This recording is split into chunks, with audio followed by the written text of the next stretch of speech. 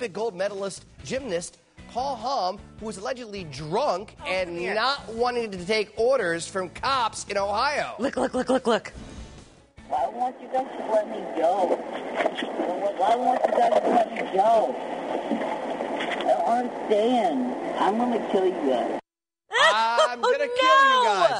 I can't Uh, believe he said that. You don't say that to cops, and then you can see they put him his face down on the on the hood of the car. Hamm was charged with assaulting a cab driver. That's why police were called in. Hamm admitted that to cops that he had about eight drinks. Yikes. Ohio State University, where Hamm is currently employed as an assistant gymnastics He coach. fell over and must have lost his balance in the back of the car.